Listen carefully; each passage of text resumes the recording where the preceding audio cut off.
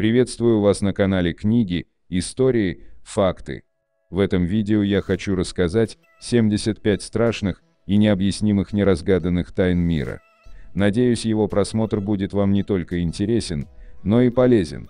Прошу вас подписаться, а также нажать на колокольчик и выбрать все уведомления, и при возможности помочь каналу, заглянув в описание этого видео и поддержать любым удобным способом.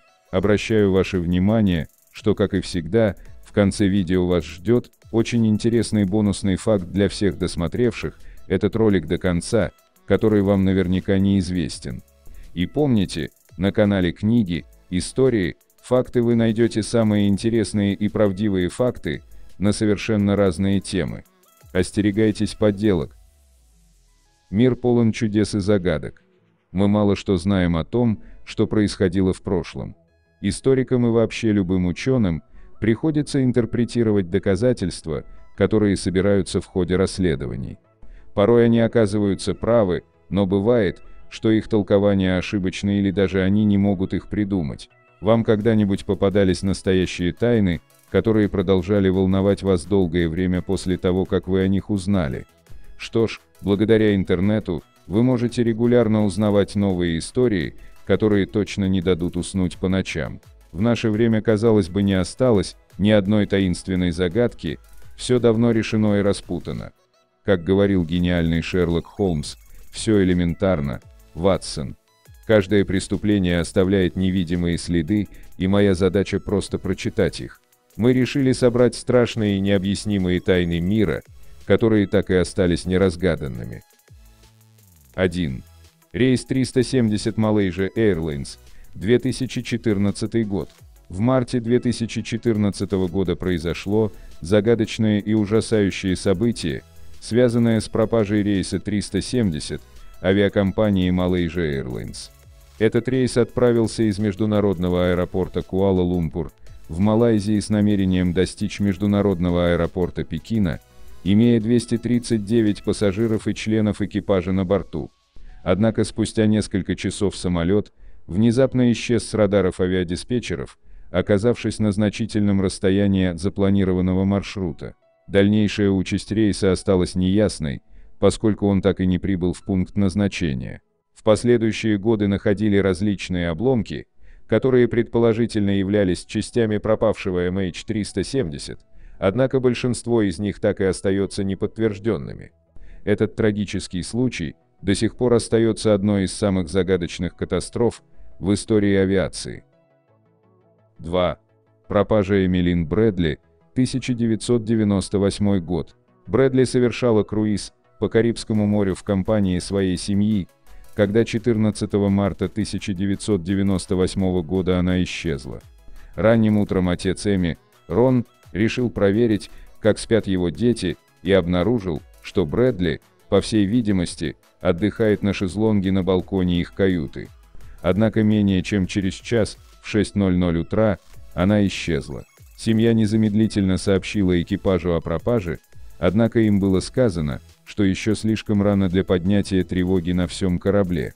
Вскоре поисковый отряд, состоящий из команды и персонала судна, обнаружил пропажу Брэдли и начались четырехдневные поиски, проводимые голландской береговой охраной Карибского бассейна. Однако, несмотря на все усилия, она так и не была найдена. 3. Исчезновение каякера Эндрю Макколи. 2007 год. Австралийский каякер Эндрю Макколи предпринял попытку пересечь Тасманного моря в 2007 году. Во время своего приключения он использовал особую капсулу и морской якорь, чтобы спать внутри своего каяка. Однако, когда его каяк был обнаружен, капсула пропала. Позже нашли снимки на его фотоаппарате, на которых Маколи подает сигналы бедствия, говоря, что он тонет и нуждается в помощи. 4. Убийство на озере Бодом, 1960 год. В июне 1960 года четверо подростков решили разбить лагерь на берегу озера Бодом. Трое из них были жестоко убиты. Единственный выживший, Нильс Густавсон, получил серьезные травмы, включая сотрясение мозга и переломы лица. Он утверждал, что успел лишь мельком увидеть нападавшего. Тем не менее Густавсона судили по обвинению в убийстве, но его оправдали. 5. Исчезновение Ребекки Карием, 2011 год. В 2011 году Ребекка Карием пропала со своего рабочего места на борту круизного лайнера Disney Вандер, ее не нашли ни в ее каюте, ни в других местах корабля. Однако следователи обнаружили запись с видеокамеры в 5 часов 45 минут утра, где она разговаривает по телефону и выглядит эмоционально подавленной. Это был последний зафиксированный случай ее присутствия на борту, и ее тело так и не было обнаружено. 6. Озеро скелетов. Это мелкое озеро в Индии славится тем, что на его берегу во время схода снега можно увидеть сотни человеческих скелетов. По словам исследователей, кости являются останками людей, погибших при внезапной буре с градом в IX веке, однако точных сведений о причине появления скелетов на этом озере не существует. 7. Исчезновение Гарольда Хольда, 1967 год. 17 декабря 1967 года премьер-министр Австралии Гарольд Холд исчез во время дневного купания на австралийском пляже Чевиот. Холта сопровождали шесть человек, но только один из них вошел в воду, остальные отказались, сославшись на небезопасные условия плавания. Присутствующие вспоминают, как Холт, не слушая увещеваний, заплывал в море все дальше, пока не исчез под волнами и больше не появился на поверхности. Когда спутники потеряли Холта из виду и не услышали ответа на зов, они бросились за помощью к полицейским Виктории, те организовали поисковую группу. Более 340 человек искали политика, включая водолазные команды и вертолеты. 7 января 1968 года поиски тела были прекращены, и общественность признала Холта погибшим. Вокруг его исчезновения ходит несколько теорий заговора. Некоторые звучат очень бредово, например, что его похитили на китайской подводной лодке. Другие – из-за слухов о том, что Холт намеревался вывести Австралию из войны во Вьетнаме, утверждают, что его смерть была убийством по заказу ЦРУ. Третьи ссылаются на отсутствие тела как на доказательство того, что он не погиб, а умело инсценировал свою смерть. 8. Дама на дне озера. Тело Кэрол Парк было обнаружено на дне водоема Канистон на северо-западе Англии, она была завернута в сарафан и пластиковые пакеты, при этом ее тело было утяжелено свинцовыми трубами. В результате вскрытия стало ясно, что лицо было разбито, а в качестве орудия убийства использовался ледоруб. Гордон Парк, муж Кэрол, в конечном итоге был признан виновным, однако это дело вызвало много споров. 9. Маленькая мисс Лейк по носовке. Тело неизвестного человека было обнаружено, частично погруженным в воду озера Поносовки во Флориде. Жертва была полностью одета, на ее безымянном пальце находилось кольцо, предполагается, что она была замужем, а на шее застегнут мужской ремень 36 размера. Убийство остается нераскрытым, несмотря на судебно-медицинскую реконструкцию лица жертвы в 1971 и 2012 годах. 10. Убийство на озере Лава 1924 год. Тройное убийство на озере Литл Лава в национальном лесу Дишутс, Центральный Орегон, произошло почти сто лет назад, в 1924 году. Трое друзей планировали провести зиму в бревенчатом домике, работая трапперами. После их исчезновения на берегу озера были найдены кровь, человеческие волосы и зубы, а после того, как лед растаял, нашли их тела. 11. Коралловый замок. Это причудливая мегалитическая структура, работа, созданная эксцентричным латвийским иммигрантом из США Эдвардом Лицкалнином. Она находится к северу от города Хамстед, Флорида. Он построил весь комплекс самостоятельно в 1930-х годах. На волне славы Лицкалнин утверждал, что изобрел вечный двигатель, который позволил ему перемещать огромные камни с помощью левитации. Несколько подростков утверждали, что видели, как он работает, и сказали, что огромные блоки кораллов весом в тонны летали вокруг, как наполненные водородом шарики. 12.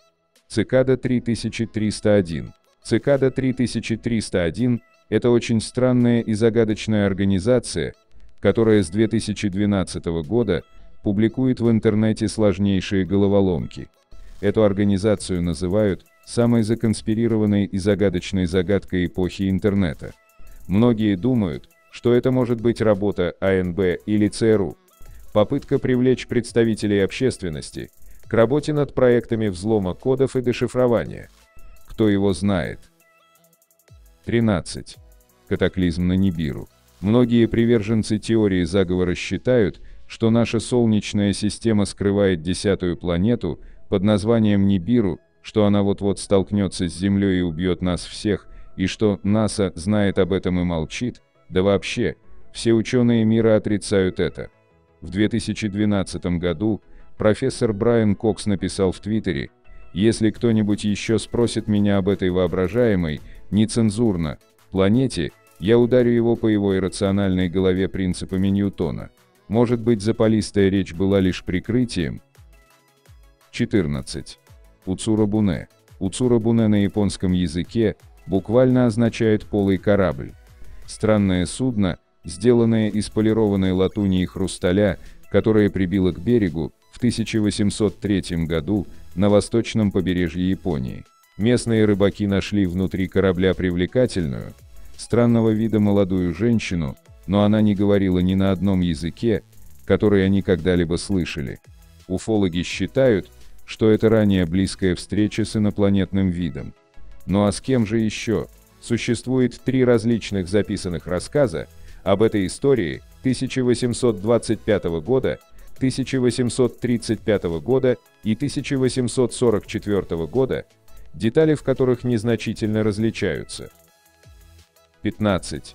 Человек-ящерица с болота Скейпор. Существо на этой фотографии якобы является человеком-ящерицей из болота Скейпор в Южной Каролине, которая, как говорят, живет в самом болоте, а также в канализации. Его описывают как существо порядка полутора метров в высоту, двуногое и чешуйчатое, с тремя длинными пальцами на каждой руке. Городские легенды гласят, что ящер якобы атаковал автомобили, оставляя длинные выбоины в металле. Легенда настолько стойкая, что прижилась даже на страницах Википедии. 16. Инцидент Вэлла. 22 сентября 1979 года орбитальный американский спутник Вэлла засек неопознанную двойную вспышку света вблизи отдаленных островов Принца Эдуарда у берегов Антарктиды. Никто не знает, что это был за свет. Двойные вспышки являются общей характеристикой ядерных испытаний. Но кто испытывал ядерную бомбу там? До сих пор ни одно правительство ни одной страны не признало этого. 17. Мегацунами в заливе Литуя 1958 года.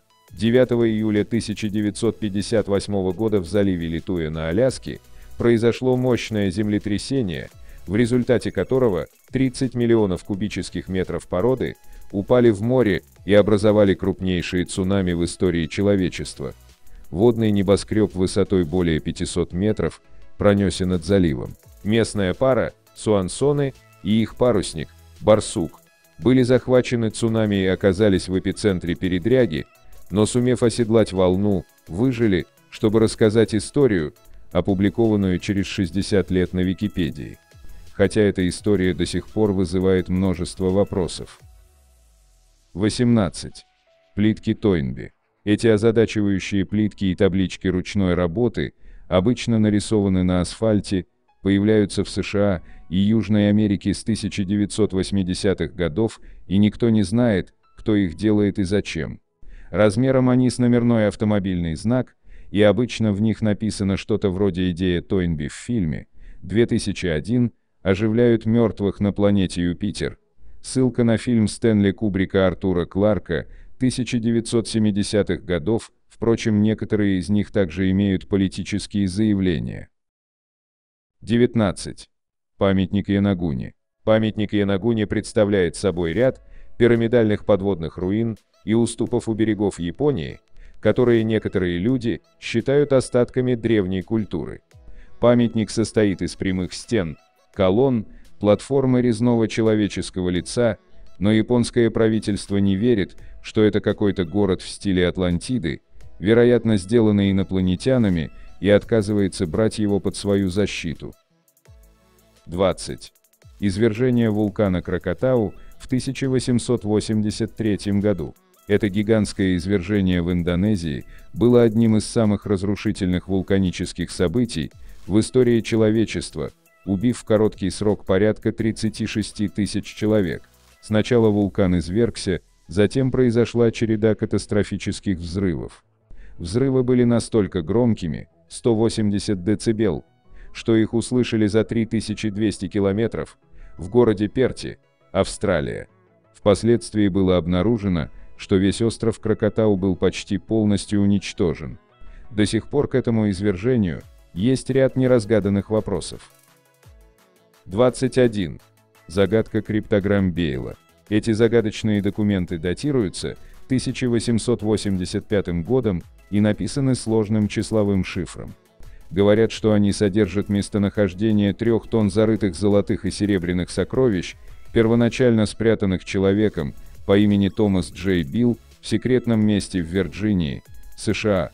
До сих пор был расшифрован только один текст, но он дал лишь детали того, что было запрятано, и общее местоположение клада, округ Бетфорд.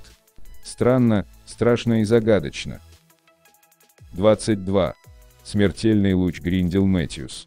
Гарри Гриндел Мэтьюс был английским изобретателем, который в 1920-х годах неоднократно настаивал на том, что он создал первый в мире электрический луч смерти.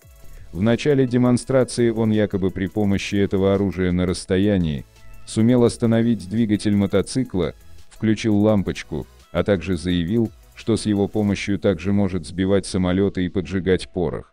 Мэтьюс утверждал, что он рассчитывал начать продажи луча американским военным. Многие страны мира за этим мифическим видом оружия охотились, начиная от времен Плутарха. 23. Взрыв в Техас-Сити. Эта катастрофа вошла в историю как крупнейшая череда мощнейших неядерных взрывов и до сих пор является одной из самых смертоносных промышленных аварий всех времен. 16 апреля 1947 года, после начавшегося на борту судна, ходившего под французским флагом СС Грэндкомп пожара, на борт которого шла погрузка 2300 тонн аммиачной селитры, произошел взрыв. Взрыв сравнял с землей почти тысячу зданий, погубил 581 человека и поднял в воздух 6350 тонн металла на сотни метров. Череда возгораний и взрывов привела к уничтожению двух третей этого города и трех четвертей всей его химической и нефтеперерабатывающей промышленности. 24. Блуп. Блуп, в переводе с английского «рев», был странным, чрезвычайно мощным низкочастотным сигналом, зафиксированным Национальным управлением океанических и атмосферных исследований США, НАУА, в 1997 году. Звук менялся по частоте и мог, как предполагалось, издаваться крупным морским животным. Единственная неувязка заключалась в том, что на Земле не существует сейчас столь крупных животных. Из-за нестыковки НАОА пришлось пересмотреть вероятный источник звука. Теперь он, по мнению исследователей, был вызван двумя большими айсбергами, а не живым существом. 25. Загадка бабочек Данаида Монарх. Бабочка-монарх мигрирует из США в Мексику и обратно каждый год. В течение года существует четыре полных поколения бабочек, которые живут и умирают во время путешествия. Вернувшись из Мексики, бабочка умудряется найти те же деревья, с которых начинала жизненный путь ее прародительница, несмотря на то, что никогда не бывало там. В настоящий момент у ученых нет однозначного мнения, как молодое поколение бабочек находит место, где обитали их родственники. 26. 100 тысяч долларов, найденные в туалете телеканала. В Мельбурне в 2011-м неизвестный мужчина провел 5 часов в телецентре канала Channel 9, зайдя в туалет и смыв в унитаз около 100 тысяч долларов. Часть денег он также выбросил в мусорное ведро. Кто и зачем это сделал, до сих пор остается загадкой. Изначально несколько банкнот по 50 и 100 долларов в мусорном ведре в кабинке для инвалидов обнаружил уборщик. Примерно через неделю туда вызвали сантехника из-за засорения трубы. Он был потрясен, обнаружив, что канализацию засоряют тысячи долларов наличными. Так в общей сложности нашли 100 тысяч долларов. Полиция и по сей день так и не раскрыла происхождение этих денег, а также не нашла человека, который выкинул наличность. 27. Бразильская тайна свинцовых масок. Дело о свинцовых масках. В 1966 году на холме Винтин в Рио-де-Жанейро были найдены тела двух мастеров радиотехники Мануэля Перейры да Круза и Мигеля Жозе Виана. На них были свинцовые маски, похоже предназначенные для защиты от радиации, они были одеты в деловые костюмы и непромокаемые плащи.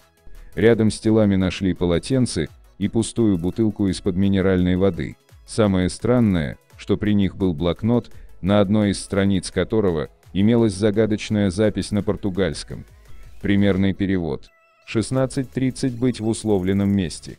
18.30 проглотить капсулу. После наступления эффекта многоточие. Далее указан набор странных слов, защита металлов, ждать сигнала, маска. Кстати, в книге Дж. Митчелла и Р. Рикарда «Феномены книги чудес» предложен другой вариант перевода. 4.30 пополудни. Будьте на означенном месте. 6.30. Проглотите капсулу. После того, как начнет действовать, защитите лицо металлической маской и ждите сигнала. Следствие до сих пор так и не выяснило причину гибели мужчин, установив, что это точно не самоубийство. Различные экспертизы показали, что никаких признаков насильственной смерти обнаружить не удалось, как и признаков отравления, поражения радиацией или каких-либо других патологических изменений во внутренних органах. Что касаемо масок, то считается, что их радиотехники изготовили самостоятельно. Есть много версий случившегося, начиная от удара молнии до совсем фантастических. 28. Человек-обезьяна из Дели. Гуманоид, якобы неоднократно наблюдавшийся в индийской столице Дели в 2001 году. В начале 2000-х в Индии распространялись панические слухи о том, что существо, прозванное человеком-обезьяной, нападает на людей, живущих в Дели. Оно было около 120 сантиметров ростом, хотя иногда сообщалось о росте в 150 или даже 180 сантиметров, имело обезьяноподобное лицо и терроризировало людей с полуночи до 4 утра. Жители Дели были так напуганы, что перестали спать по ночам, пытаясь защититься. До сих пор никто не знает, было ли это правдой или просто слухом, в который люди начали верить. По данным газеты The Guardian, человек-обезьяна напал, примерно на 20 человек в течение пяти дней, поцарапав и нанеся им ранения. Одни свидетели утверждали, что у него железные когти и зубы, другие уточняли, что он носил роликовые коньки. Укусы, оставленные существом на своих жертвах, свидетельствовали о том, что это было животное, а не человек. Хотя полиция была вовлечена в поиски, мало что известно о том, что именно представляет собой это существо и существовало ли оно на самом деле. Кстати, чтобы это ни было, весь этот инцидент был описан как пример массовой истерии в Индии. 29. Харабская письменность. Письменность долины Инда. В период с 3300 года до нашей эры по 1300 год до нашей эры в Северной Индии и Пакистане существовала развитая цивилизация – называемая цивилизацией долины Инда. Считается, что проживавшие там люди изобрели письменность, независимо от других, что происходило всего пять или шесть раз в истории. Но по сей день, со всеми тысячами надписей, которые у нас есть, и всеми задокументированными контактами с другими цивилизациями, мы не расшифровали их письменность. Нет никакого известного розетского камня, никаких известных надписей или документов на этом языке. Но самая большая загадка не в том, как читать надпись или что в ней сказано, а в том, сможем ли мы когда-нибудь вообще узнать о древней письменности и языке. Возможно ли вообще расшифровать язык, о котором мы абсолютно ничего не знаем. Есть версия, что эта письменность использовалась для языка дравидийской группы. советский и российский историк, этнограф, лингвист и эпиграфист, переводчик, основатель советской школы маянистики Юрий Валентинович Кнорозов считает, что протоиндийское письмо – классический пример иероглифики, то есть морфемно-силлабическое письмо. 30. Кто убил Мисси Биверс? Меня всегда поражает убийство Мисси Биверс. Она была убита ранним утром в церкви, где преподавала йогу.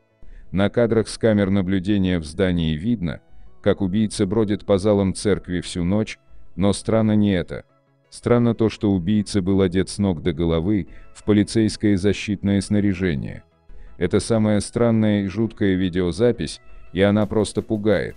Есть много теорий, но убийство Мисси так и не было раскрыто, и я считаю, что в этом деле даже не было настоящего подозреваемого. В апреле 2016 года фитнес-тренер приехала рано утром к церкви, рядом с которой она регулярно проводила свои занятия. В тот день шел дождь, и она предложила провести занятия под крышей церкви. Об этом она сообщила в группе в одной из соцсетей. К пяти утра к церкви начали съезжаться люди. Первым приехал мужчина, у которого в этот день должно было быть первое занятие. Он увидел автомобиль тренера, припаркованный возле церкви, прикрытую дверь, но постеснялся заходить внутрь первым и решил дождаться еще кого-нибудь, сидя в машине неподалеку. Позже приехали еще четыре человека и, войдя в церковь, обнаружили тело тренера. К сожалению, полиция так и не нашла преступника. Загадочное убийство Мисси – одна из самых жутких историй в США. 31. Тайна гранитного монумента. Кто взорвал скрижали Джорджии? Памятник состоял из четырех панелей высотой примерно 4,8 метра, которые служили солнечными часами, астрономическим календарем, и на них было написано «Руководство по жизни в эпоху разума» на восьми разных языках. Вокруг скрижалей много загадок, в том числе почему они там находились и кто за ними стоит. Путеводные камни были установлены в 1980 году. Человек или люди, заказавшие монумент, остались анонимными. При заказе памятника использовался псевдоним Р.К. Кристиан. И сообщения о нем, и сам монумент были весьма противоречивыми, одни считали его сатанинским, а другие в шутку называли американским Стоунхенджем. 7 июля 2022 года он был загадочно взорван, ранним утром.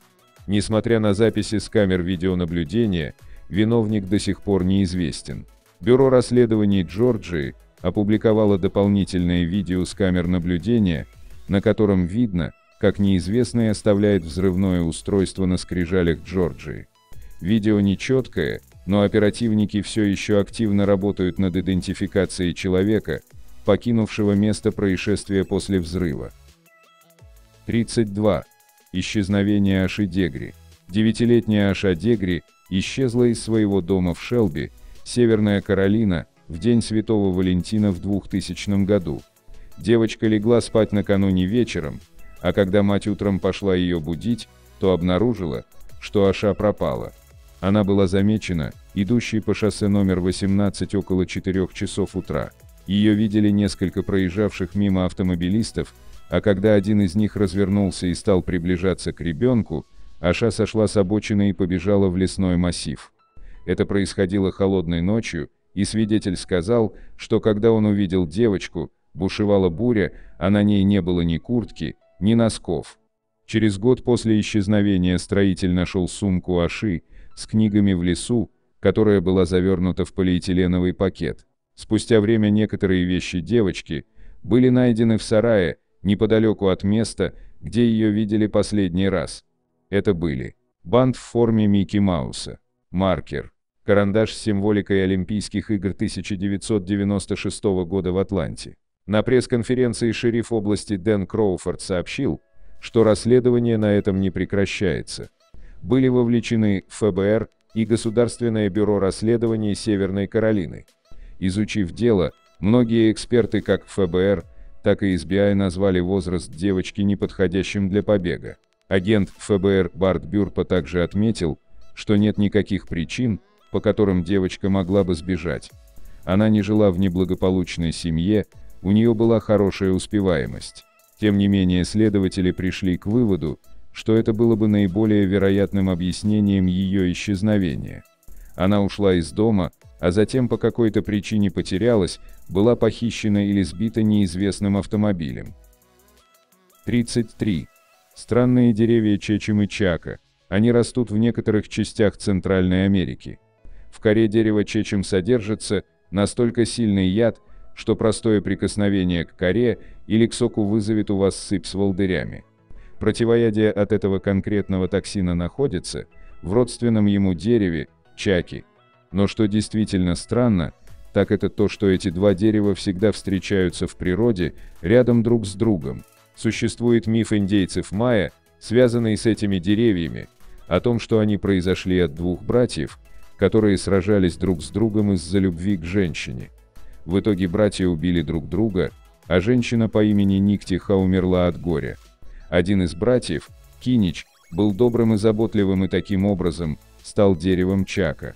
Другой брат, Тизич, был бессердечным и высокомерным, он стал деревом Чечем. Тот факт, что эти деревья в природе находятся рядом друг с другом и обеспечивают прямо противоположные эффекты, это довольно странно. 34. Принцы в Тауэре, 1483 год. После смерти короля Англии Эдуарда IV на престол должен был взойти его 12-летний сын, но до совершеннолетия наследника назначили регента. Им стал брат умершего короля Ричард Глостерский, впоследствии Ричард III. После того, как малолетний король и его младший брат, герцог Йоркский, были привезены регентом в Лондон для коронации, их поместили в башню Тауэр, но после этого детей больше никогда не видели. Много веков спустя в Тауэре были найдены два скелета мальчиков примерно того же возраста, что и принцы на момент их пропажи. Однако тайна исчезновения принцев так и не была разгадана. Принцы Эдуард 12 лет и Ричард 9 лет были помещены в лондонский Тауэр их дядей Ричардом, герцогом Глостерским, в 1483 году. Мальчики родились во времена печально известной войны Рос 1455 год, 1485 год, которая по сути представляла собой серию вооруженных конфликтов между двумя соперничающими сторонами одной семьи, сражавшимися за трон Англии. Когда дядя поместил Эдуарда с братом в башню и заявил, что это было сделано для их защиты, событие не вызвало подозрения у общественности. Согласно сообщениям того времени, мальчиков видели все реже и реже, и в конце концов, они больше никогда не попадались на глаза свидетелям. Подозревают, что их убили, но никто точно не знает, так ли это. А если они были убиты, то кем? 35. Человек в железной маске, 1703 год. По неизвестным причинам, некий француз был вынужден носить бархатную маску, когда был схвачен и заключен в тюрьму под вымышленным именем. Он провел там более 30 лет, до самой своей смерти, что по сути породило многовековые теории о том, кем на самом деле он являлся. В конце 1600-х, начале 1700-х годов мужчину неизвестного происхождения и неопознанного по имени в черной бархатной маске, не железной, заключили в тюрьму Бастилия в Париже. Неизвестный сидел там, пока не умер в 1703 году. Начиная с XVIII века, люди выдвигали множество теорий о том, кем был этот человек. Предположения были разные, от английского дворянина до брата короля Людовика XIV. Однако большинство историков пришли к выводу, что узника звали Исташ Дожи, и он, вероятно, был камердинером знатной особы. К тому же он не носил маску все время нахождения в заключении это вымысел. Человек в железной маске провел более 30 лет во французских тюрьмах, вынужденный скрывать свою личность от всех, кого видели его тюремщики и их начальник Бенинь Даверн де Сен-Мар. Хотя слухи и предметы искусства часто украшают лицо узника металлом, свидетели утверждают, что на самом деле для маскировки использовался черный бархат. Многих в прошлом и настоящем занимала личность этого человека. Интерес подогревался мерами, на которые пошли его надзиратели в стремлении скрыть персону пленника. Некоторые считают таинственного незнакомца внебрачным отпрыском короля Людовика XIV или даже его братом. Другие убеждены в его близком родстве с кем-то из опальных дворян. Возможно, бедолагу заключили в тюрьму, чтобы укротить какого-то строптивого аристократа и предотвратить его нежелательные шаги. 36. Убийство топором в Велиске, 1912 год. Где-то в июне 1912 года, примерно 9-10 числа, семья Мур супруги Джазая и Сара и их дети, четверо из которых были их собственными, а двое других гостили в семье, были забиты до смерти ночью в собственном доме. Преступление было совершено в США, штат Айова, в городке Велиска. Восемь жертв были убиты топором, который нашли на заднем дворе. Согласно сообщениям, убийцы обыскали дом в поисках предметов одежды, чтобы закрыть зеркала в доме и дверные стекла. Власти также обнаружили кусок бекона рядом с топором, тарелку с несъеденной едой и миску с окровавленной водой на кухне. За прошедшие годы было найдено несколько зацепок, но дело до сих пор остается нераскрытым. 37. Убийство Элизабет Шорт, прозванной «Черной Георгиной», 1947 год. Доказательства из архива – это письма с угрозами смерти и фотографии с места преступления. Элизабет Шорт, посмертно прозванная «Черной Георгиной», была 22-летней девушкой, которую жестоко убили в январе 1947 года в Лос-Анджелесе. Делу была придана широкая огласка из-за ужасного характера преступления. Тело несчастный преступник сильно изуродовал, в том числе, оно было разрезано пополам. Как ни странно, на месте преступления не было ни капли крови. Многие подозреваемые были тщательно проверены, но никого не арестовали. Несмотря на то, что за эти годы было выдвинуто много теорий, убийство Элизабет Шорт остается нераскрытым. 38. Массовое убийство на ферме Хинтеркайфек, 1922 год. Весной 1922 года шесть человек, живших и работавших на ферме Хинтеркайфек, расположенной в сельской местности Баварии, Германия, были убиты неизвестным преступником. Шесть жертв были в возрасте от 2 до 72 лет. Тела четырех жертв с жестокими ранами были обнаружены в сарае, скрытые слоем сена, а двух других нашли в доме. Судя по всему, убийцы оставались на ферме несколько дней и даже ухаживали за домашним скотом, кормили животных. Хотя за последние сто лет прорабатывалось несколько теорий о произошедшем, этот ужасный случай остается нераскрытым по сей день. 39. Смерть сэра Эдмунда Берри Готфри, 1678 год. Сэр Эдмунд Берри Готфри был английским судьей, который загадочно погиб 12 октября 1678 года. Подробности произошедшего не совсем ясны, но он по сути стал жертвой антикатолического заговора, организованного для того, чтобы создать впечатление, будто короля Карла II собираются убить. Тело Эдмунда было найдено в канаве, проткнутое его собственным мечом. По-видимому, причиной его смерти на самом деле было удушение, и он уже был мертв, когда меч пронзил его тело. Несколько человек были ложно обвинены и казнены за это убийство, но раскрыть дело не удалось до сих пор. 40. Исчезновение Джимми Хоффы, 1975 год. Люди говорят, что двое могут хранить тайну, если один мертв. Несколько человек должны были знать о том, что случилось с Хоффой, и быть причастными к этому, но никто никогда не произнес ни слова. Кто-то должен знать.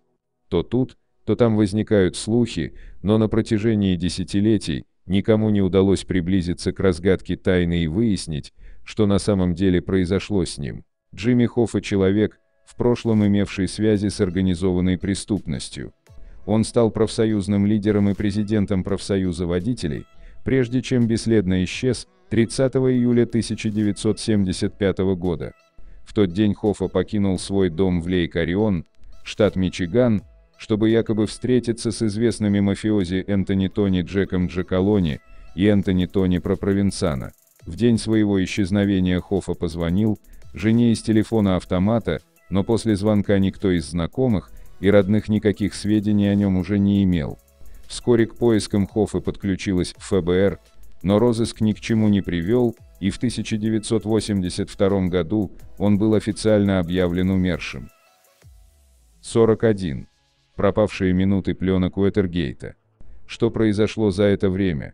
Хотя Уэтергейтский скандал был сосредоточен на причастности администрации Никсона, краже информации из кабинетов Демократической партии, известно также, что президент Никсон установил вокруг Белого дома устройство для записи своих и чужих разговоров.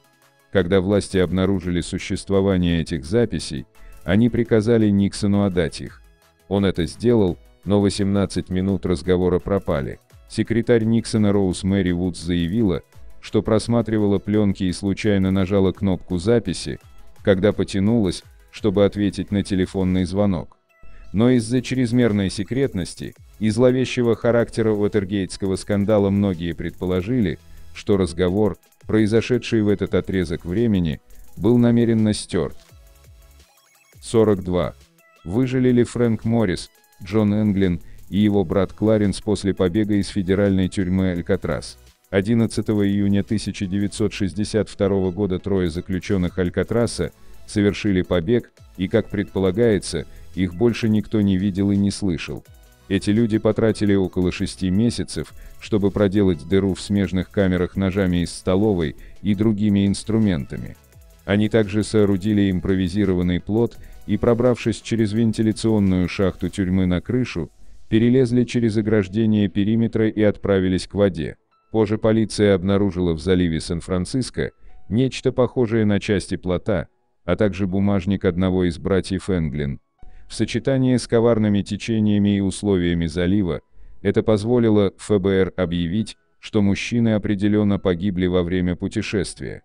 Однако их тела так и не были найдены, и многие считают, что бывшие узники благополучно пережили побег и обосновались где-то во Флориде или Южной Америке. Некоторые люди, знакомые с семейством Энглин, утверждали, что видели двух человек, похожих на братьев, на похоронах их отца. 43. Убийство Улафа Пальмы. Премьер-министра Швеции убили в Стокгольме, когда он шел домой со своей женой. Поначалу дело казалось простым и очевидным, поскольку главный подозреваемый Кристер Питерсон был опознан непосредственным свидетелем, госпожой Пальмы. Питерсон был признан виновным и осужден, но позже оправдан в ходе апелляции, сославшейся на отсутствие мотива и орудия убийства. С тех пор ни один подозреваемый не предстал перед судом, хотя выдвигалось немало обличительных теорий, включая курдских повстанцев и югославские секретные службы. 44. Что папа Лев сказал Гуну Атиле. Атила был постоянной угрозой для западной и восточной римских империй. Он активно завоевывал территории и был не так уж далек от того, чтобы захватить весь известный мир в V веке. В 452 году он вторгся в Италию и направился к Риму. Тогдашний император подумал, что все можно решить путем переговоров, и послал Геннадия Авиину, одного из консулов 450 года, Мемия Эмилия Тригетия, бывшего городского префекта, и Льва I, тогдашнего папу, обсудить вопрос о разграблении Рима. Нет никаких записей о том, что переговорщики говорили о Тиле, но они определенно сделали что-то правильное, поскольку правитель гунов отступил, и заслуга в этом принадлежала папе. Даже если есть вероятность того, что Лев I задокументировал разговор, и рукописи находятся в архивах Ватикана, они закрыты для публики. 45. Что случилось с картинами музея Изабеллы Стюарт Гарднер? В 1990 году двое мужчин, переодетых полицейскими, проникли в музей Изабеллы Стюарт Гарднер в Бостоне, обездвижили ночных охранников и украли 13 бесценных экспонатов, после чего скрылись. В то время стоимость похищенного составляла около 200 миллионов долларов, сегодня эта сумма намного больше. В последние годы ФБР дало понять, что считает воров связанными с преступной организацией, базировавшейся в частности в среднеатлантических штатах и Новой Англии. Однако на ранних этапах расследования рассматривались даже охранники, дежурившие в ту ночь, хотя их быстро проверили и отсеяли. По сей день не было обнаружено ни одного произведения искусства, вынесенного из музея. 46. Пропажа Кирсы Дженсен в Новой Зеландии. Я бы назвал неразрешимой эту загадку из Новой Зеландии. Это тайна Кирсы Дженсен 14-летней девочки, пропавшей без вести в 1983 году во время прогулки на лошади. В контексте Зеландии это довольно значительное событие, потому что нераскрытые исчезновения там весьма редко встречаются. Кирса пропала 1 сентября 1983 года. Сформировав поисковые отряды, власти смогли найти ее лошадь Комодора, но не саму Кирсу. В последний раз ее видели неподалеку от устья реки Тутаикури. Свидетели рассказывали, что видели ее с окровавленным лицом. На расспросы она ответила, что упала с лошади и родители скоро за ней приедут. Другие вспоминают, что перед исчезновением она разговаривала с мужчиной в белом фургоне. Мужчина по имени Джон Рассел признался в убийстве Дженсен, но позже отказался от своих слов, после чего покончил с собой. 47. Янтарная комната. Янтарная комната находилась в России, а точнее в Екатерининском дворце царского села, где обычно проживала императорская семья и приближенная аристократия. Комната считалась архитектурным шедевром. Украшенная янтарными панелями и щедрым золотым декором, она была хранилищем множества искусных резных деталей и произведений искусства. Во время Великой Отечественной войны янтарная комната – предположительно была разобрана немцами и отправлена в Пруссию, но после войны ее больше никто не видел.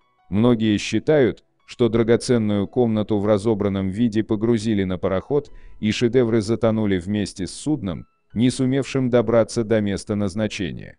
Другие не верят, что остатки янтарной комнаты находятся на дне океана, считая, что прежде чем нацисты были задержаны, они разобрали янтарную комнату и спрятали ее в каком-то секретном месте. В 1979 году советское правительство решило попытаться восстановить янтарную комнату. С 2003 года она стала доступна для осмотра и по-прежнему находится в Царском селе. 48. Люди, пропавшие в Новом Южном Уэльсе, Австралия. Пять человек в XIX веке исчезли, оставив после себя несколько очень странных вещей – Геолог Ламонт Янг проводил полевые исследования на побережье Нового Южного Уэльса со своим помощником и двумя друзьями в 1880 году. Группа наняла лодочника Томаса Тауэрса, чтобы он отвез их для продолжения работ, и все пятеро исчезли.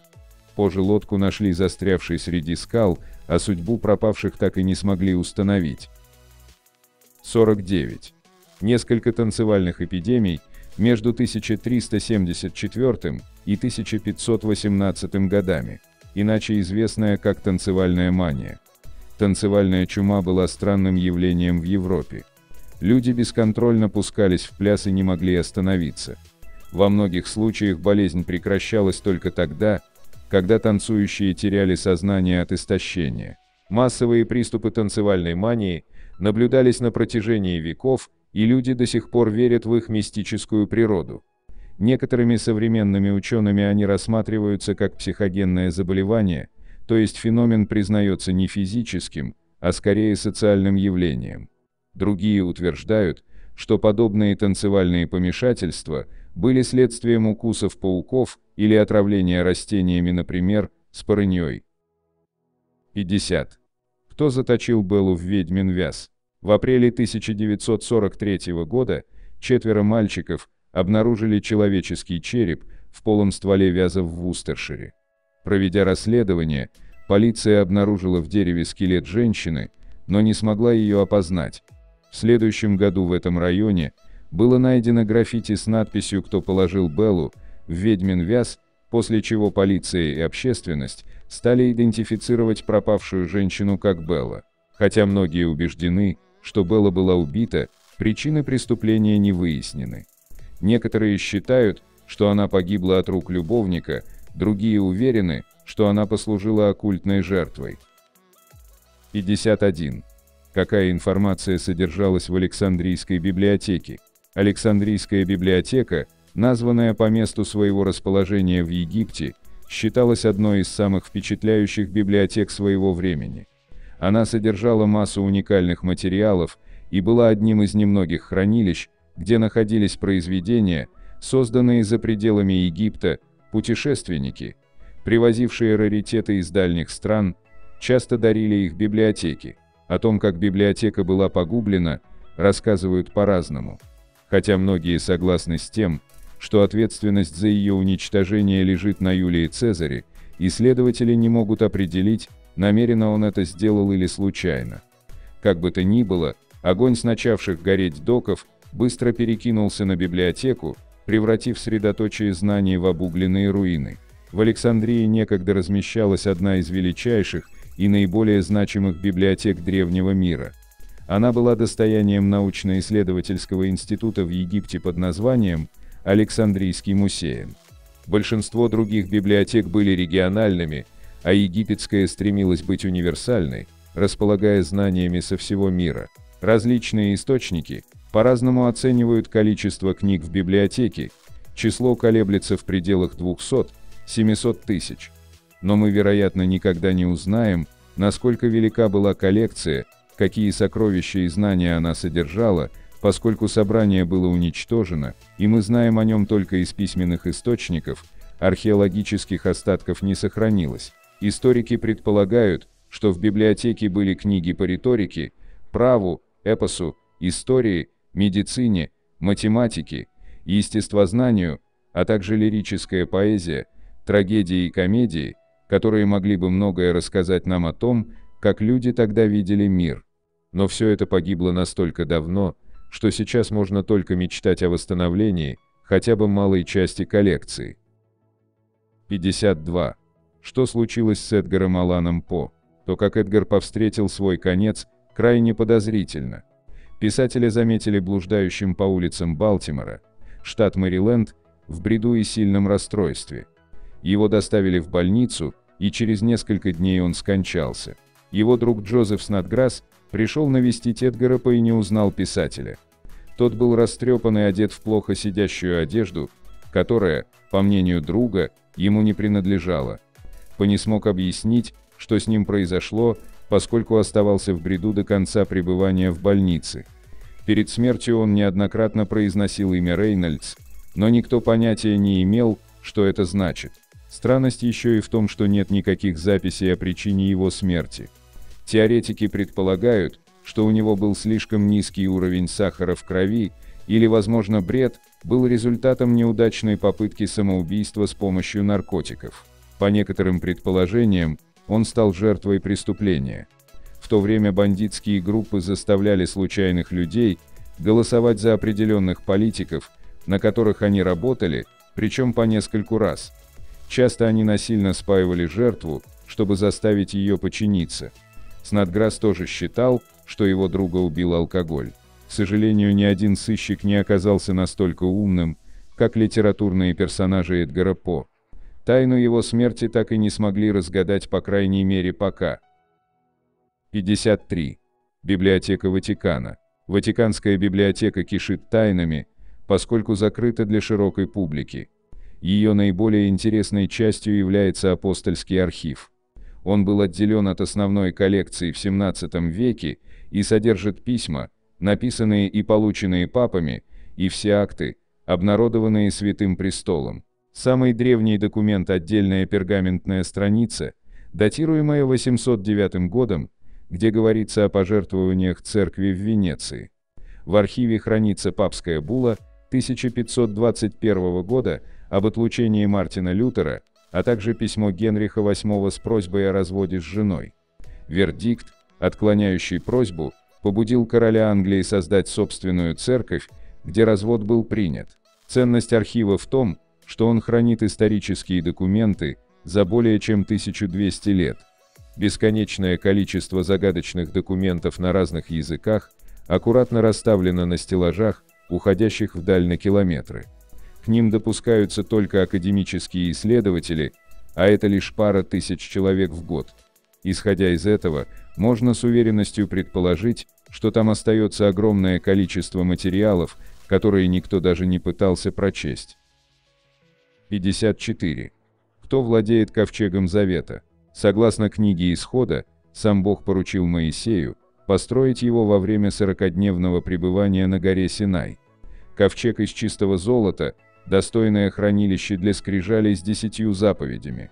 Легендарный ларец неоднократно упоминается в Библии, как и то, что он пребывал под защитой храма Соломона, пока вавилоняне не напали на Иерусалим и не разрушили стены святыни 587 году до нашей эры. С тех пор не обнаружено никаких записей о том, куда делся ковчег. Есть упоминание о том, что он мог быть спрятан до прихода вавилонян. И есть церковь Богоматери Марии Сионской, которая утверждает, что ларец у них. Но доказательств по-прежнему никаких. 55. Что вызвало крах бронзового века. Исторический период, длившийся примерно с 3300 года до нашей эры по 1200 год до нашей эры. Называется бронзовым, потому что именно в этот временный отрезок люди обнаружили, что могут соединять металлы и получать бронзу.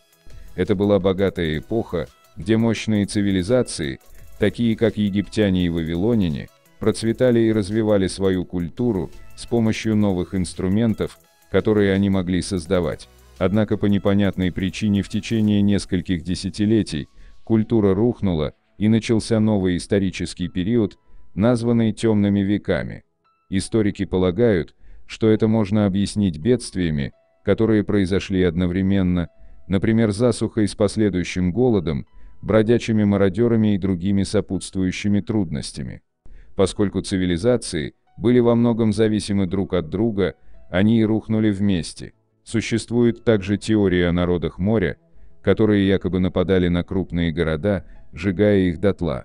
Но не все историки в это верят, хотя на стенах храма Рамзеса III в погребальном комплексе Меди-Нет-Абу есть барельеф, изображающий морское сражение. 56. Последние слова Эйнштейна. Гениальный немецкий физик скончался в Принстонской больнице, штат Нью-Джерси, 18 апреля 1955 года. Смерть вызвала внутреннее кровотечение после разрыва аневризмы брюшной аорты.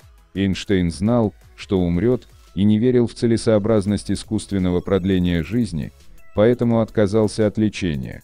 Но у него было время подумать о том, что он хотел бы сказать напоследок. Так совпало, что в последние минуты с Эйнштейном находилась медсестра, и она действительно слышала, как он что-то бормотал. Но что именно, она не знала, потому что не понимала по-немецки. Возможно, его озарило невероятно важное осознание – или он прощался с любимыми на родном языке, до изобретения машины времени миру придется мириться с тайной последних слов гения. 57. Откуда пришли шумеры? Самая ранняя из известных ныне цивилизаций шумерская располагалась в исторической области Южной Месопотамии, нынешний Ирак. Шумеры первыми стали использовать письменность, изобрели систему счисления, первые колесные транспортные средства – высушенные на солнце кирпичи и ирригацию для земледелия. Но историки до конца не уверены, откуда они пришли. У них был изолированный язык, не связанный с другими окружающими языками, что затрудняет отслеживание их происхождения. Исследователи предполагают, что шумеры могли прийти из Северной Африки, а по некоторым другим данным с Кавказа. Существует масса бездоказательных теорий, и это лишь показывает, насколько загадочным является происхождение людей, создавших первую человеческую цивилизацию. 58. Великое несоответствие, полтора миллиарда лет геологической летописи, просто исчезли. В истории Земли бесконечное количество пробелов, и люди пока не в состоянии заполнить их все. Одна из самых волнующих тайн Великое несоответствие. Это разрыв в горной летописи наслоении пород в промежуток, между 100 миллионами и 1 миллиардом лет. Явление наблюдается по всему миру в разных местах, с различными вариациями слоев, и ученые не могут его объяснить. Горные породы похожи на торт, пласты которого становятся старше по мере ухода вглубь, причем изменение возраста происходит постепенно и хорошо прослеживается. То, что творится за пределами 100 миллионов лет, нельзя объяснить простой эрозией, Однако ничего логичнее современные исследователи придумать не могут. 59. таинственные смертельно опасные мумии. Как мы знаем, в Древнем Египте люди предпочитали метод мумификации другим методикам захоронения покойников, потому что считали, что жизнь существует и после смерти, а значит, и тело должно сохраняться в максимально приемлемом виде. Также в загробной жизни ушедшему человеку, особенно если он был богат и знатен при жизни, понадобятся и вещи, а следовательно, в саркофаг нужно было положить все то, чем пользовался человек, в том числе и самые ценные вещи. Но и поскольку, как мы знаем, пирамиды были построены для фараонов, мумии здесь принадлежат людям высшего эшелона, а стало быть, и вещи их отличаются богатством, ценностью и многообразием. Настоящая пещера Али-Бабы для разбойников. Чтобы отпугнуть расхитителей гробниц, сразу же после постройки крупнейших и богатейших пирамид, жрецами Древнего Египта был распространен слух якобы о том, что мумии прокляты. И якобы это проклятие не растворилось в воздухе и через тысячи лет. В качестве доказательства этого исследователи указывают на гибель ученых, особенно первой волны конца 19-го начала 20 века, изучавших эти самые мумии. Но при помощи современных технологий можно выявить ошибочность этой идеи. Согласно исследованиям, причиной смерти ученых считается не проклятие, а высокий уровень радиации – а также законсервированные на тысячи лет в анабиозе древние бактерии. Поскольку большинство ученых не знали об этом раньше, они подверглись высокому радиационному воздействию и, к сожалению, погибли. Число погибших при исследовании мумий составляет 12 человек. 60. В пирамидах растения развиваются быстрее. Если вы сажали саженец, скажем, дерева, то знаете, насколько долго он будет расти до того момента, как вырастет в дерево. Выход, похоже, найден, ведь ученые, изучающие рост растений внутри египетских пирамид, заметили, что они развиваются там быстрее обычного. Кто знает, если в будущем мы сможем разгадать эту загадку и создать на ее основе технологии, быть может, это поспособствует революции в растениеводстве и сможет вывести сельское хозяйство на недосягаемый до того уровень. Но до тех пор пока что этот феномен так и остается тайной. 61. Строители пирамид сумели решить проблему вентиляции в закрытых со всех сторон пирамидах. Как вы знаете, египтяне мумифицировали умерших исходя из своих верований. Но они, как и во всем, что касается смерти, подходили к погребению с максимальным вниманием к деталям. А что если покойники чувствуют запах? Вопрос для современного человека более чем наивный, но не для древних египтян. Возможно, тысячи лет назад до нашей эры египтяне тоже подумали об этом, ведь как объяснить, что в этих великолепных сооружениях, которые они построили для фараонов, вовсе нет неприятных запахов? Ни запаха плесени, ни пыли и ничего-то подобного. А ведь эти гигантские гробницы запечатывались на тысячи лет, в них нет ни окон, ни дверей, но есть системы вентиляции, позволяющие воздушным потокам выводить неприятный душок от объекта, если он вообще там мог появиться. 62. Тайные двери и лабиринты древнеегипетских пирамид. В огромных комплексах пирамид находится большое количество комнат. Многие из дверей которые ведут в те или иные помещения комплекса, были обнаружены и исследованы, но говорят, что в пирамидах до сих пор есть потайные двери, которые так еще и не были открыты. Некоторые ходы по каким-то причинам банально не могут открыть, а за некоторыми находятся ходы, сложные, как лабиринты. Ходят байки, что бывали случаи, когда исследователи, входившие в эти лабиринты, исчезали бесследно, а те, кому посчастливилось найти выход, приходили туда, откуда начинали свой путь. 63. Вдохни новую жизнь в уход за лицом. И, наконец, благодаря особой форме пирамид вода, оставленная в одном из помещений на 5 недель, превращается в лосьон. Правда это или нет, мы не знаем, но такой слух ходит, и, возможно, это еще одна загадка, связанная с древними строениями. 64. Зеленые дети. В XII веке в английской деревне Вулпит появились два загадочных ребенка, мальчик и девочка. У детей была зеленая кожа, и они говорили на языке, который никто не знал. Они добавляли загадочности тем, что отказывались есть что-либо, кроме бобовых стручков. Когда девочка научилась говорить по-английски, она заявила, что они с братом родом из страны Святого Мартина, где солнце никогда не поднимается над горизонтом. В конце концов дети поселились в Вулпите и жили вполне нормальной жизнью, девочка даже вышла замуж. Со временем их кожа приобрела нормальный цвет. Объяснения появления зеленых детей включают теории о том, что они были космическими пришельцами или гостями из другого измерения. Английский фольклор утверждает, что потомки зеленых детей до сих пор живут в Саффолке, Англия, но они никогда не были идентифицированы. 65. Кто-то рядом. 20 мая 1916 года три уставших фигуры наткнулись на китобойную станцию на северном побережье Южной Георгии. Эрнест Шеклтон, Фрэнк Уорсли и Том Крин шли без остановки в течение полутора дней, чтобы найти помощь и спасти свою команду, которая застряла на другой стороне острова. Путешествие было коварным, поскольку им пришлось пересекать горные районы только с помощью веревки и топора в качестве снаряжения. Их храбрость была вознаграждена, когда они, в конце концов, нашли помощь в Стромнесе, и все попавшие в беду люди были спасены. Спустя всего несколько недель после инцидента, трое мужчин поняли, что у них всех сходные ощущения. Все они чувствовали странное присутствие во время своего путешествия, как будто другой человек присоединился к их спасательной операции. Все трое рассказали, как они чувствовали, что это существо прогуливалось рядом с ними до самого Стромнеса, после чего оно исчезло. Шеклтон, в частности, был очень взволнован этим опытом и не любил говорить о нем. Произошедшие с этими мужчинами пытались объяснить разными теориями. Среди них были такие объяснения, как общая галлюцинация, неврологические расстройства и побочные действия принимаемых путешественниками лекарств. Однако достоверно выяснить, кто или что сопровождало их в тот день, невозможно. Это так и остается загадкой. 66. Друид Колчестера.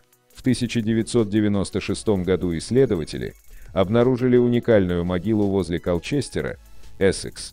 Предполагалось, что человек в могиле скорее всего умер во время римского вторжения или между 40 и 60 годами нашей эры. Погребальная камера была построена полностью из дерева.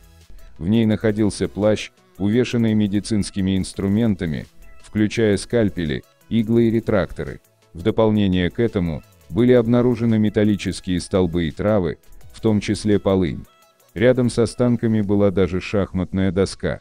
Однако неизвестно, кем мог быть этот человек, хотя эксперты полагают, что он был либо древним друидом, либо врачом. Существует только один римский отчет о друидах Британии, предоставленный Тацитом, и очень трудно правильно идентифицировать артефакты друидов в настоящее время. Следовательно, истинная личность человека в погребальной камере, скорее всего, никогда не будет установлена. 67. Шлемы из черепов. Археологи, занимающиеся раскопками захоронений на острове Саланга в Эквадоре, в период между 2014 и 2016 годами, сделали удивительное открытие, объяснение которого им еще предстоит найти. Среди захоронений были останки двух младенцев в шлемах, изготовленных из детских черепов. Было обнаружено, что черепа, вероятно, были надеты на младенцев в то время, когда они еще были живы. Была обнаружена также маленькая кость, зажатая между головой младенца и черепом, надетым на него. Археологи не имеют объяснения, зачем на детей нужно было надевать черепа. Предполагается, что это было частью какого-то защитного ритуала. Неизвестно также, и что привело к смерти младенцев, хотя, судя по их скелету, они были крайне истощены. Возможно, это было вызвано извержением вулкана, которое привело к нехватке продовольствия. Эти результаты были опубликованы совсем недавно, и для подтверждения правильности любой из теорий требуется больше доказательств. 68. Дом плача. Алан и Кристина Тейт любили свой дом в Аманфорде в Уэльсе, вплоть до июня 2018 года. Однажды ночью Кристина готовила кофе, когда услышала странные звуки, раздающиеся в доме. Она позвонила своему мужу, и они оба попытались установить, откуда исходит шум. Они услышали звук приливов, едущих машин, мотоциклов и безудержные крики. В конце концов, они поняли, что звуки раздавались из подвала, расположенного под кухней. Алан установил в стенах диктофоны, чтобы попытаться выяснить, что может быть причиной шума. Оборудование зафиксировало полицейские сирены, женские крики, лай собак и автомобильные сигналы. Кристина верит, что в подвале живут люди и что звуки могут быть связаны с торговлей, людьми или даже с нарколабораторией. Однако полиция не нашла никаких доказательств этого. Тем временем Кристина и Алан слишком напуганы, чтобы вернуться домой, и путешествуют по Великобритании, пытаясь найти того, кто мог бы помочь им разгадать тайну. 69. Гость Ван Метера. 29 сентября 1903 года У. Г. Гриффит направлялся в свой дом в Ван Метере, штат Айова, когда заметил прожектор на вершине здания, которого он никогда раньше не видел. Когда он подошел ближе к зданию, пятно света переместилось на другую крышу, прежде чем исчезнуть в темноте. На следующий день Гриффит рассказал о произошедшем, и горожане прислушались, ведь он был уважаемым гражданином Ван Метера. 30 сентября доктор Олкот проснулся от луча света, светящего ему в лицо рано утром. Выбежав на улицу со своим огнестрельным оружием, думая, что на его участок проникли злоумышленники, доктор Олкот застыл на месте, увидев перед собой большое гуманоидное существо с массивными крыльями и рогом на голове. Рог излучал поток яркого света. Доктор Олкот выстрелил в существо пять раз, но монстр даже не моргнул. Затем доктор побежал обратно внутрь, а когда оглянулся, существо исчезло. 1 октября, также рано утром, менеджер банка Кларенс Дан подошел к банку, где работал с неприятным ощущением, что недавно появившиеся монстры, возможно, были грабителями, пытающимися отвлечь горожан при планировании ограбления финансовой организации. Он заперся внутри здания, сжимая ружье для защиты. Сразу после полуночи Дан услышал странный задыхающийся звук. Затем яркий свет засиял в банке, и Дан увидел фигуру снаружи. Он выстрелил из ружья по фигуре, и она убежала. Позже он обнаружит следы с отпечатками всего трех пальцев за пределами банка. Все больше людей встречали это существо, включая Дж. Л. Плата-младшего, который столкнулся с ним у входа в заброшенную шахту для добычи угля. Он также увидел маленькое похожее существо, стоящие рядом с большим. Стрельба по ним снова не имела никакого эффекта. Затем компания решила забраться на вход в шахту, и существ больше никогда не видели. То ли это просто страшная история, в которой весь город был на грани помешательства, то ли жители Ван Метера действительно увидели нечто сверхъестественное более ста лет назад. 70. Масляный шар Кришны. На склоне с 45-градусным уклоном и основанием, менее 1,2 метра в Махабалипураме, Индия, покоится огромный валун, более 250 тонн, под названием «Масляный шар Кришны». Кажется, что валун скатился с холма и каким-то чудом остановился на краю склона, прежде чем рухнуть вниз. Гравитация не в силах сдвинуть его с места, точно так же, как и толпы туристов, которые так и норовят столкнуть его вниз. Согласно индуистской мифологии, великий бог Кришна в младенчестве очень любил есть сливочное масло, и поскольку валун имеет оранжевый оттенок, некоторые полагают, что это на самом деле ложка сливочного масла, сброшенная Кришной. Отсюда и название «масляный шар Кришны». 71. Крик в Форест Гроув. В 2016 году пронзительный звук, Форест Гроув не давал людям спать по ночам и вынуждал постоянно лаять собак. Жители описывали этот звук как визг автомобильных тормозов, вой сирены и завывание ветра. Некоторые записали звуки, чтобы воспроизвести их позже и попытаться выяснить, в чем причина. Теории были разными. От утечки в трубопроводе, пожарной тревоги или резко тормозящего поезда. Ни одна из этих теорий не оправдалась. Шум продолжался и был слышен в нескольких местах в Форест Гроув. профессор физики в местном университете, попытался отследить источник звука, закрепив все местоположения на карте Google этой местности. Однако результата не последовало, и тайна осталась нераскрытой. Жители начали сходить с ума, и появились теории, включающие призраков, снежного человека, пришельцев и многое другое. История распространялась по новостным каналам, а звук между тем продолжался. Затем однажды ночью он вдруг прекратился и больше не был слышен никогда. Остается неизвестным, что вызвало такой шум и почему он прекратился так же внезапно, как и начался. 72. Ханан Мансур, Сюзанна Ганем. Ханан Мансур родилась в 30-х годах в Ливане. Она вышла замуж за Фарука Мансура, когда ей было всего 20 лет, и у нее родились две дочери, Лейла и Галари. Вскоре после рождения второго ребенка Ханан поставили диагноз болезнь сердца и предупредили, что у нее больше не будет детей. Несмотря на это, в 1962 году у нее родился сын.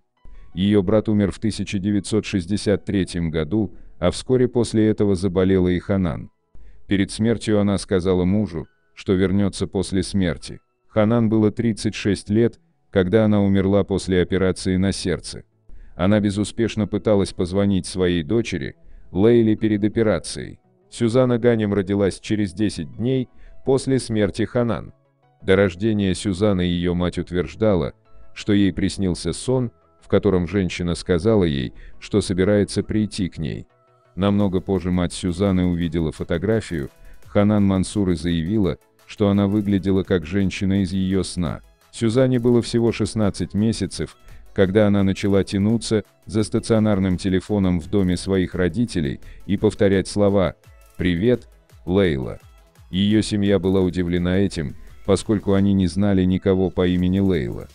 Когда Сюзанна повзрослела, она сказала родителям, что Лейла была одним из ее детей из прошлой жизни. В возрасте двух лет она упомянула все три имени детей Ханан и Фарука, ее родителей и братьев. Услышав это, Мансур отправились навестить Сюзану. Во время этого посещения Сюзана опознала всех родственников Ханан и сказала Фаруку, что она помнит, как отдала драгоценности своему брату Геркулесу до того, как ей сделали операцию. Никто, кроме семьи Мансур, не знал об этом. К тому времени, когда ей было пять лет, Сюзанна звонила Фаруку по несколько раз в день. Это продолжалось, пока ей не исполнилось 25 лет. Фарук признал, что Сюзанна стала реинкарнацией Ханан и считал, что физическое сходство между двумя женщинами является еще одним доказательством. Естественно, большинство считает, что это просто совпадение или мистификация. Но то, что действительно произошло, остается окутанным тайной. 73.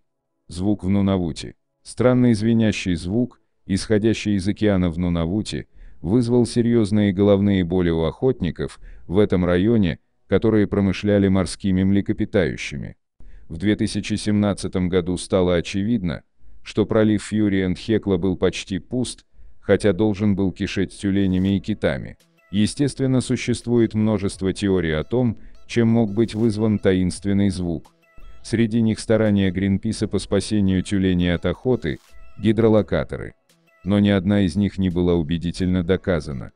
Был даже послан военный самолет, чтобы пролететь над этим районом, но он не зафиксировал ничего, кроме китов и моржей. Канадские войска в то время собирались отправить специалистов по акустике, чтобы пообщаться с жителями соседнего Иглулика и попытаться собрать больше информации о звуке. Однако на сегодняшний день его источник остается неизвестным. 74. Что случилось с Сесилом Грейсом? Сесил Грейс был летчиком, который решил принять участие в летном соревновании в 1910 году. Приз 2000 фунтов стерлингов первому англичанину, который сможет успешно пролететь над Ла-Маншем. 22 декабря 1910 года Сесил вылетел из Кале во Франции. К сожалению, этого было недостаточно, чтобы победить, поэтому он вернулся в Англию чтобы начать все сначала. Полет должен было занять около 40 минут. Однако к середине дня самолета Сесила нигде не было видно. Сесил так и не вернулся. 6 января 1911 года пара бельгийских очков и кепка были вынесены на берег на бельгийском пляже. Через пару недель было обнаружено и тело. Оно так и не было опознано из-за разложения, но у друзей Сесила были серьезные сомнения в том, что это были останки авиатора. Даже после того, как Сесил был официально объявлен мертвым, его самые близкие друзья отказались верить, что это были останки их коллеги-пилота. Учитывая, что последний раз самолет Сесила появлялся около Кента, они полагали, что это было слишком далеко от бельгийского пляжа, чтобы авиатор мог оказаться там. На сегодняшний день самолет Сесила так и не был найден. Что именно случилось с пилотом, остается загадкой. 75. Хиздаленский свет. С 1940-х годов в районе деревни Хиздален, Норвегия, наблюдаются таинственные шары света. Свет, который описывается как яркий белый и желтый, парит над уровнем Земли и не имеет видимого источника. Тысячи людей наблюдали огни, которые были чрезвычайно активны в 1980-х годах. Научного объяснения огней, которые даже были сняты на видео и выложены на YouTube, не существует. Среди популярных теорий – мираж, кристаллические зерна, ионизированный газ в воздухе, плазма в пыли и НЛО. А какая неразгаданная тайна не выходит у вас из головы? Расскажите о ней в комментариях. На этом я бы хотел закончить это видео с 75 страшными и необъяснимыми неразгаданными тайнами мира. Ну и уже по традиции, для всех досмотревших этот ролик до конца, Предлагаю узнать бонусный факт. В польской деревне месяце Аджанский 10 лет рождались одни девочки. Небольшое местечко на юге Польши с населением, около 300 человек привлекло интерес ученых своей забавной аномалией. Здесь 10 лет рождались только девочки. Раймунд Фришко, глава месяца Аджанский, даже пообещал выплатить премию паре, у которой появится мальчик. И только недавно эта награда нашла своих героев. Однако чем объясняется этот феномен и как события будут развиваться в дальнейшем, наука не знает. Вот такими у нас получились 75 страшных и необъяснимых неразгаданных тайн мира. Надеемся, вам понравился материал, который мы собрали для вас. Оставляйте комментарии, делитесь своим мнением о ролике, знали ли вы бонусный факт, все это очень важно для нас и позволяет продолжать радовать вас новыми, надеемся, еще более интересными видео. Отдельно хочу поблагодарить всех поддержавших наш канал материально зрителях в это непростое время, их имена вы можете увидеть в описании ролика. Благодарю за просмотр этого видео и прошу подписаться на канал книги, истории, факты, нажать на колокольчик и выбрать все уведомления. Вам наверняка понравится. Я расскажу еще много интересного и познавательного. Прошу при возможности помочь каналу, заглянув в описание этого видео, и поддержать любым удобным способом.